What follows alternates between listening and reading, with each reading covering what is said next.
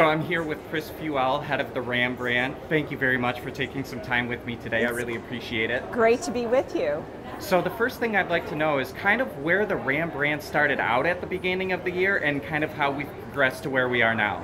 Right. Well, at, at, the beginning of the year, Ram brand was preparing for our 25 model year MCA of the light duty pickup truck. And that production started in February and has been ramping up pretty much throughout the year. As I've mentioned before, we had some fits and starts with our sales progress and our production progress, and we've smoothed out a lot of those challenges that we had in the beginning of the year where our day supply and the dealer inventory was at a very high rate, around 180 days supply. And so we've really spent time retooling our marketing as well as our incentive strategy so that we can improve not only the value of the vehicles that are in dealer stock but also improve those turn rates and get back to those healthy inventory levels so that the order flows come through at a more normal rate. So we're at a really good position right now. Our dealer day supply is down around 130, 120 days, so definitely a much improved position compared to where we were at the beginning of the year. But what I'm most excited about is the fact that they're now starting to see a regular flow of the 25 model year trucks hitting their inventory. And the RHO is definitely one that they've been excited to see. We've got completely sold out order position with a lot of our retail sold orders as well as the dealer stock orders and you'll get a chance to drive this truck today but the RHO is a really important part of our light duty truck lineup because it plays in the fastest growing subsegment, which is the sports segment. And we've been out of it for ab about not quite two years when the TRX went away. And the RHO is not intended to be a one for one replacement with the TRX, but it actually is positioned in that sweet spot of the sport truck market. $69.95 starting price point, fantastic off-road capabilities, the high output Hurricane engine that delivers 540 horsepower and 521 pound-feet of torque. It just performs. It's great off-road, but it's great on-road as well. And our sport truck lineup is complemented by the Rebel and Rebel X. And on the heavy duty side, our Power Wagon continues to be the OG in that segment too.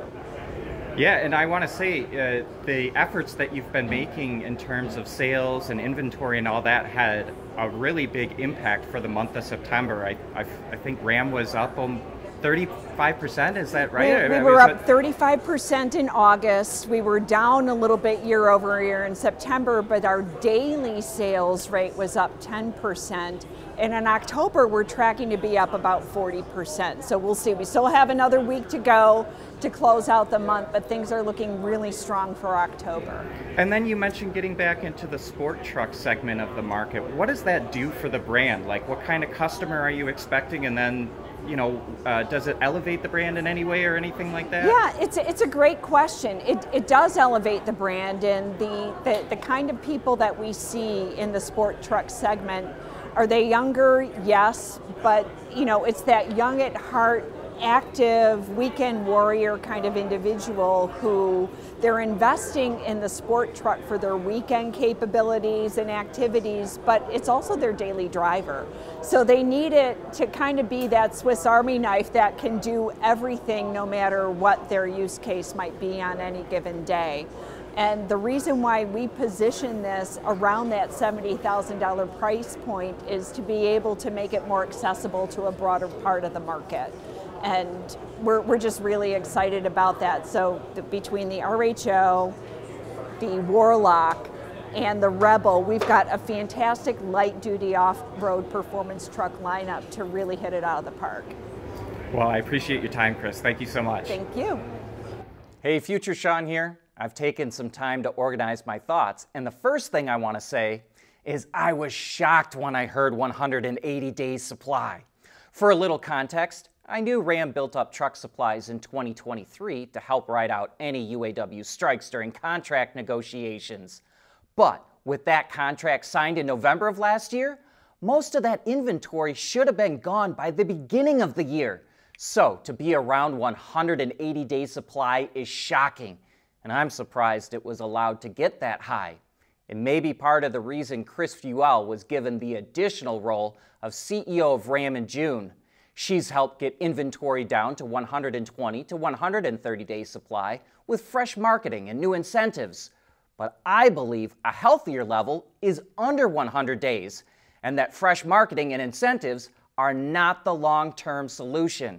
I also have a hard time envisioning a scenario where a $70,000 sport truck turns everything around. But I don't think that's what the RHO was meant to do. And the good news is, Ram has improved inventory and sales look like they're trending up. I'll be watching how that continues to play out. The other good news for Ram is, even though I don't think the RHO will turn everything around, I do think this is a cool truck. And to help back that up, here's a conversation I had with Doug Killian, the Chief Vehicle Synthesis Manager. All right, Doug, let's get into the guts of this truck, figure out what makes it so capable. Why don't we start with the wheels and tires? Absolutely, yeah, glad to talk about it. So, right at the contact patch, this is a Goodyear Wrangler Territory LT rated tire. It's five plies, mounted on a beadlock capable wheel. And a key point there with five, pl five plies LT rating, puncture resistance is huge, and you don't want to slip a tire on a bead. So bead locks for running in the sand, running at lower pressures, we got to keep a strong wheel tire setup on the ground. In order to do that, we start with a, with a extremely stout setup. The rest of the suspension, the rest of the chassis above it doesn't matter if we don't have a good wheel tire setup. So from wheels and tires, why don't we go to upper and lower control arms here? Okay, yeah, so connecting there. Aluminum forgings, a little tough to see, but I think if you catch in the wheelhouse there, upper and lower, Yep, and in terms of resistance to, to rocks and to taking uh, higher loads that are delivered as the truck is running through off-road environment, as it's maybe getting airborne, running through rocky terrain, that's managing higher loads that this truck's going to see over a base 1500, and those are unique parts to the RHO. And then how about the rear trailing link? I know you have okay. one of those here. Yeah, and in terms of suspension geometry, Every Ram 1500 has a lower trailing link, but what you'll notice here is that this is a longer unit. It's a it's taller in terms of cross section, and that longer length actually allows for a more uh, a more uniform travel of the wheel up and down as it goes through its full 14 inches of wheel travel in the rear. In fact, that's about four and a half inches more than a non-RHO, the base truck version. So a 50% increase in wheel travel really gives us more ability to manage energy and to go over bigger obstacles and keep the uh, keep the body more steady and uh, and go more places with more wheel travel. And then you all put some pretty trick dampers on this thing too, right? Yes, for sure. So yeah, talking about that wheel travel, that's where we manage all the energy as this truck is is blasting through the off-road events. Bilstein Blackhawk E squared. That's a fully adaptive damper.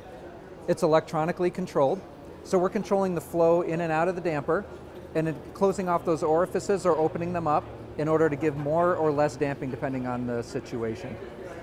In addition, so it's an aluminum housing, fully aluminum housing, helps manage the heat of that uh, of that damper as oh, it's. you got one on the table. Yeah, in you? fact yeah, we do. Yeah, we do. Take a look at this.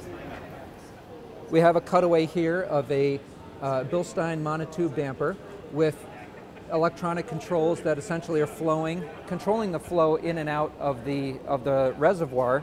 It's a remote reservoir, which is we've done a cutaway here, is uh, part oil and part gas, so nitrogen charged. Um, and this remote reservoir allows us to have more oil in the system. More oil means more heat dissipation. And that oil is actually traveling through braided steel hoses, which we can see on this example here. So high pressure, managing that oil, really with damping, one is the speed of the responses from the electronic system. So we can we can open it up if we're on a uh, let's say on a smooth road, um, or we want to really keep that steady body control. Or in fact, if the truck is starting to get airborne, what we in fact uh, we're able to detect that through the sensors in the body. We then tighten down the damping on the compression side of the shock, and as the truck comes and, and essentially lands, we can control front and rear to, to give a steady landing to the, uh, to the truck. So we're able to do that quickly. We're able to absorb all that energy through these dampers. Really cool technology.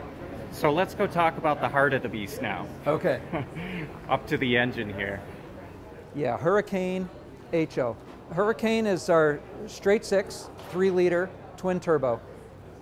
Three cylinders feed each turbo. So we would say we have two smaller turbos than traditionally running one larger. And what that really helps uh, is that turbo lag is really not existent because those two smaller turbos are spooling up so quickly, they're delivering pressure uh, into the intake charge. 28 psi, by the way. That's where we're getting 540 horsepower out of a three liter engine. Running a lot of boost pressure, but that boost pressure is, of course, designed into the block, into the crank, into the pistons, both of which are forged. So that, that let's say where we have a stout chassis, we also have a very stout engine block um, and rotating components, uh, reciprocating components that are going to manage all of that boost pressure and power. And you were saying during the presentation that even though it has the same horsepower rating as other high output engines in the lineup, yes. that this will act a little bit different out on the road. It will act different. So yeah, the actual, the power that we're seeing as we take a cold intake uh, charge, and we can see the, the hood mounted scoop here is in fact much more than aesthetic. Uh, we're pulling air in to the hood inner and dropping it into the air box. So that colder air charge allows for increased flow than a, a base vehicle which has a an intake that's down closer to the grill. So cooler air charge, more dense, more oxygen. And then on the backside, exhaust is designed uniquely for RHO. It's true dual, equal length exhaust. There's also an H pipe in the middle, so we're able to connect those two, those two runners uh, for, for sound enhancement. So we're able to, to tune the sound a little differently here on this application of the Hurricane. And then in the exhaust system as well as we have a damper which will open up, uh, or say, let's say a passive flow control valve. As the engine RPMs increase, flow increases, that will open up, gives a different sound character and uh, freer flowing exhaust out to the rear. So it really makes, it gives the, uh, the Hurricane a unique sound and feel in an RHO than in any of our other Ram trucks. Cool. I mean, is there anything that we missed on this thing? You know, that's really the, uh, the heart of it. I will say one thing that we can take all of this together, both on the engine side and on the chassis side with drive modes. We have Baja drive mode, which allows those dampers to, to open the flow a little bit, like I was talking about the, with that cutaway. That allows us to use more wheel travel, soak up more of that energy. Uh, that Baja mode also will change the transfer case setting. So we're putting 75% of the torque to the rear so that's allowing the truck to drift a little more, opens up the, we open up the stability control. So I will say that the, the one thing that kind of brings it all together is the drive modes that are selectable uh, right in the instrument panel. You can switch from Baja mode or tighten it up in sport mode. Uh, that will tighten up those dampers. That'll change the shift points. It's going to make the truck feel faster. It's going to be more responsive, more agile in its handling. And then you can just set it to auto also, and that's where all the sensors on the on the body and the suspension are adjusting the dampers for the, for the most steady ride and actually quite a serene ride for such a beast off-road. You put it on the, uh, on the highway, set it in auto. It's, uh, it's actually quite a serene place. It, uh, it really makes it feel like, a, you know, like a luxury car at times, when, uh, especially when you look in your rearview mirror and you see something like this off-road track we've got set up here. It's, uh, it's pretty cool setup. Hey, I'm back again for a moment. I agree with almost everything that Doug says, but there were times where I felt like I experienced turbo lag.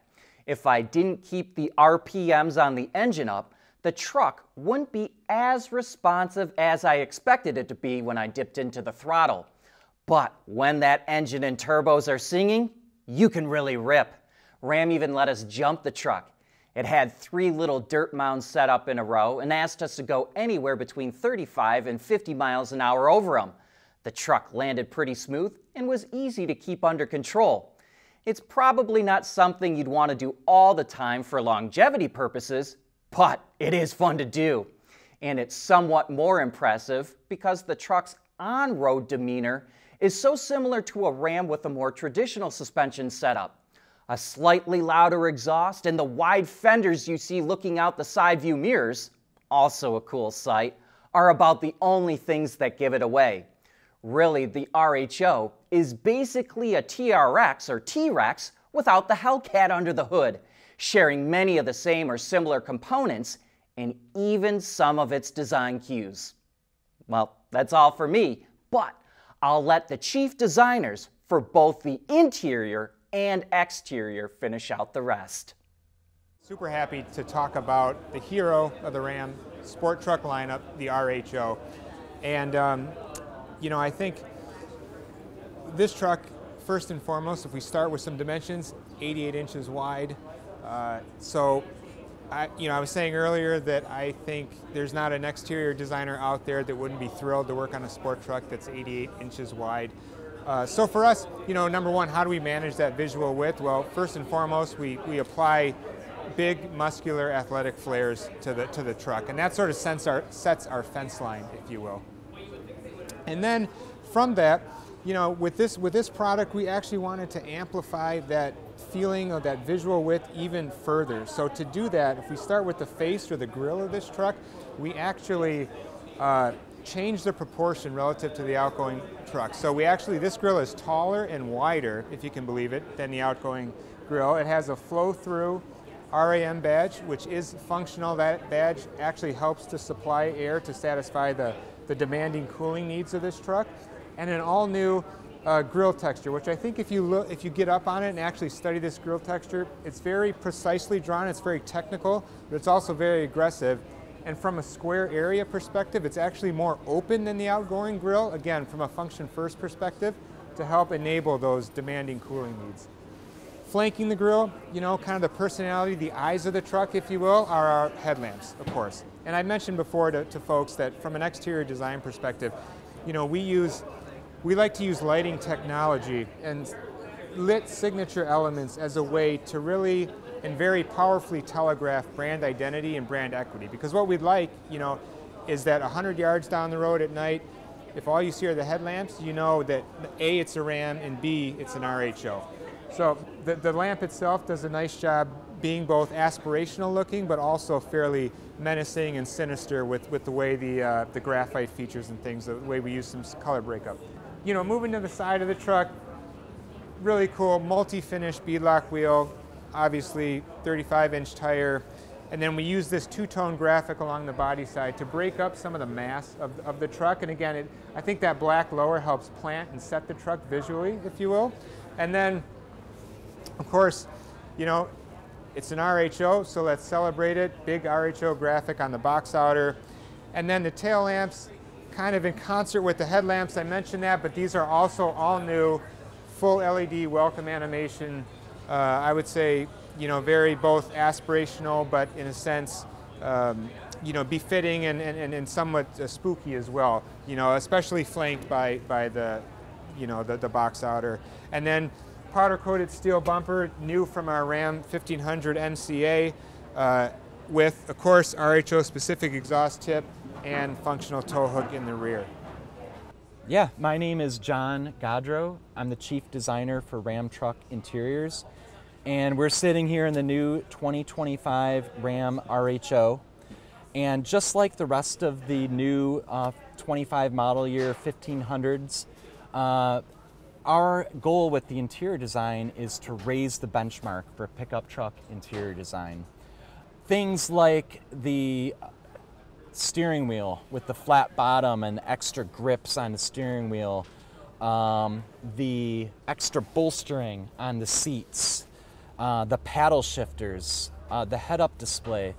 These are all examples of where there's extra features that are added to RHO beyond your, your core pickup truck, uh, like a Bighorn.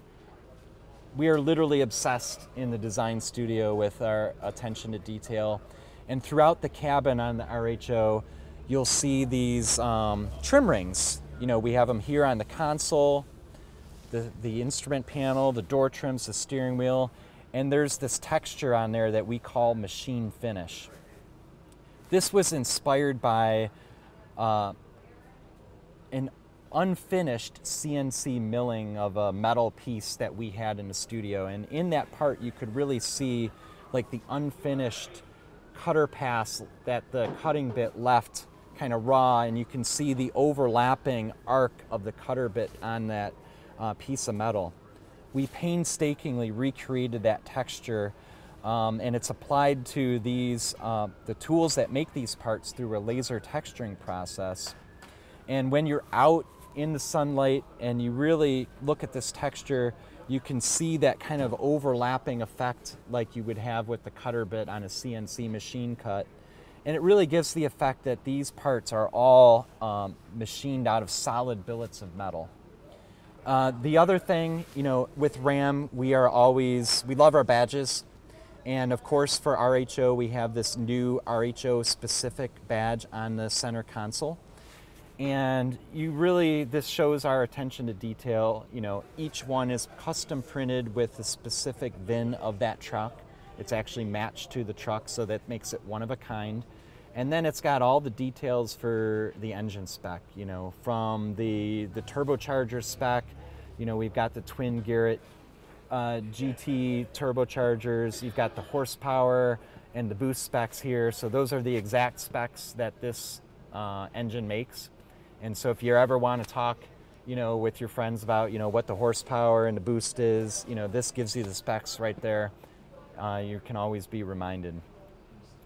Kind of the last thing I like to bring attention to in terms of the attention to detail is something you might not notice when you're driving the truck because you're sitting on it. And it's on the back of the seat back mat pockets here. Uh, we have these strips, they're called PAL strips and they're designed to be compatible with MOLLE uh, system storage uh, devices. And this is super important on RHO because literally when you're driving this thing as it's meant to be driven out on the off-road trail, you're driving it fast, your gear can be flying all over the cabin. This gives you a way to tie down your gear so you can be driving peace of mind that things aren't going to be moving around and you know you'll know where it is uh, it's where you left it when you stopped driving the truck. So in summary you know we're always trying to raise the benchmark for pickup truck interiors with ram and uh, our attention to detail all the storage features and all the technology are examples of where we've done this